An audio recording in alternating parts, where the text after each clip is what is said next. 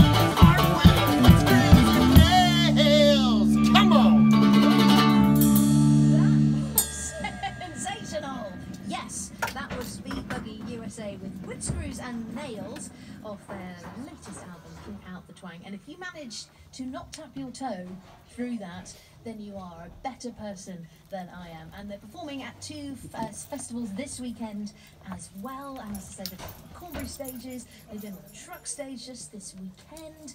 And uh, Timbo was on vocals there and mandolin. I'm pretty sure we had Seth on another stringed instrument. And we've got the lovely Jamie as well, who hails from Oxfordshire. They're coming into the studio as we speak. Oh, we've got three as well. Oh, wonderful. Oh my, oh my goodness. More than welcome, Timbo.